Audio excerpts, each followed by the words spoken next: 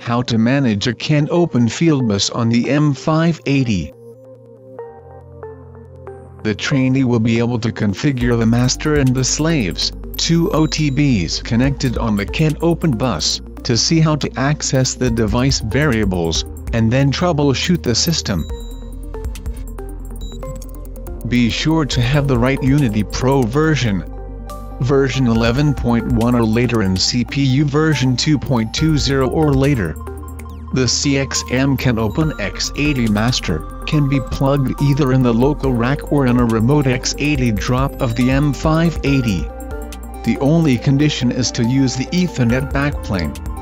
You can use CANopen devices that are present by default in the Hardware Catalog Manager, or create them from their EDS file, like you would on the M340 Sense Unity version 4.0. create a new Unity Pro project. As the CXM can be scanned from the RIO or DIO scanner, we select a CPU Model 40. In this demo, we will configure the CXM in a local rack but if you use it remotely, you just have to configure a X80 drop on Ethernet I.O. to select an Ethernet backplane, a BMECRA 31210, version 2.1 or later, and the power supply. Then, all the following operations are identical. Open the PLC bus editor. Then double-click on an empty slot and select the CXM in the communication folder.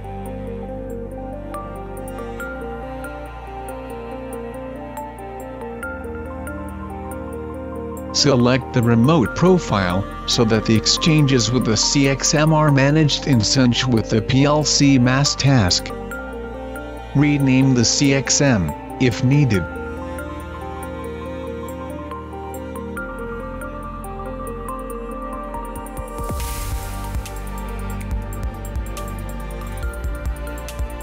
Unlock the security in the CPU, so it can communicate with the CXM.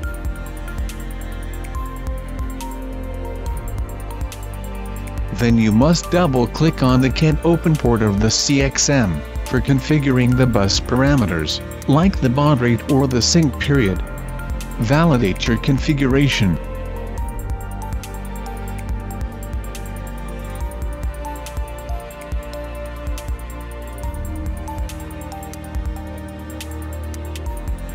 Configuration of the CANopen slaves. In the project browser, open the CANopen Bus editor which has been created at the CXM insertion time. Here, the operating modes are similar with M340, double-click on the node and select a device in the Unity catalog.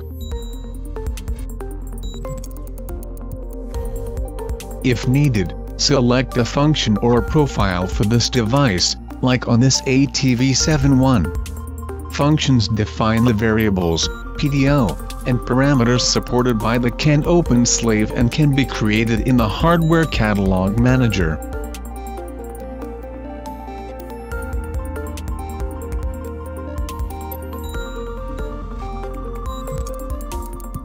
In this demo, we configure only two OTB remote IOs, at address 1 and 2.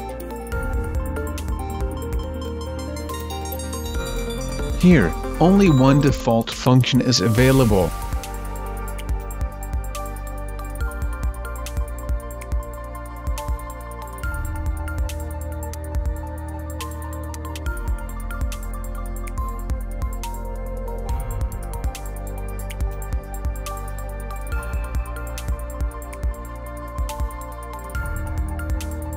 In order to finalize the configuration and because the CXM supports the same cybersecurity protection as the CPU, it is needed to unlock the security control from its DTM.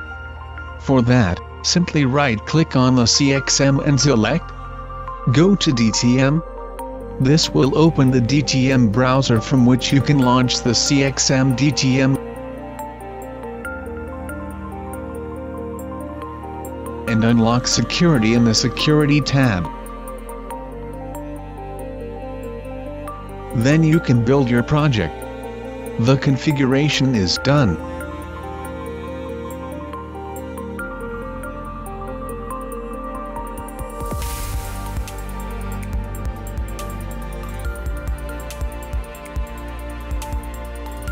After the transfer of the PLC application, you can access the PLC variables from the application via their device DDT that have been created automatically during the build. Note that also that all of the Ethernet IP configuration of the CXM and the I.O. scanner tables have been managed by the system, ensuring optimized performance and minimizing the risk of errors.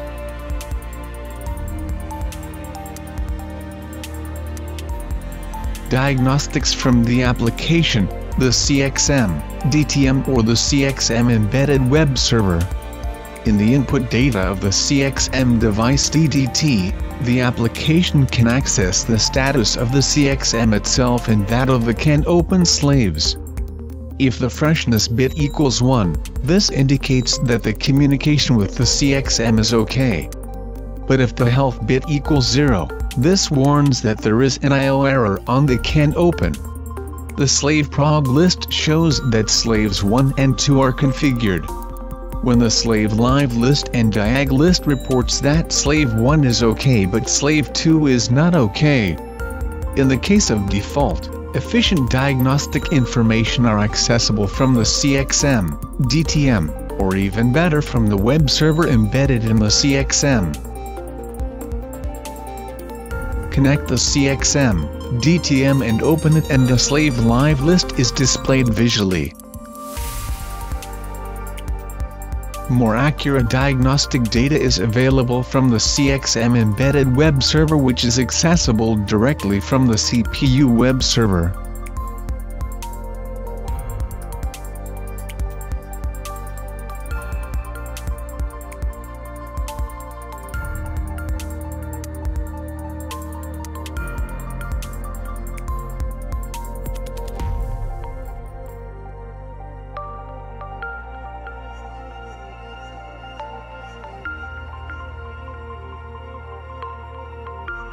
In the slave detail and event history we can see the abort code reported by the master with its explicit meaning, SDO protocol timed out, confirming that the slave number 2 is disconnected. After solving the issue, the status of the device is OK.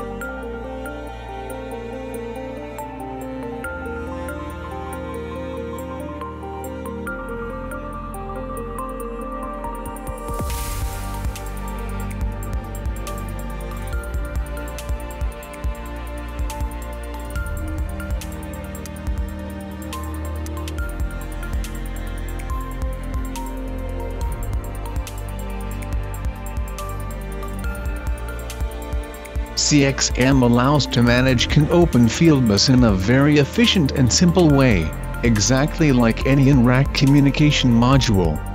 The user can set up a complete configuration with the minimum of operation. Moreover, as it reuses the same configurator as M340, there is no need to train the operators a new piece of software which is an additional cost saving. Thank you for watching. For further information please visit www.schneider-electric.com or contact your local Schneider Electric representative.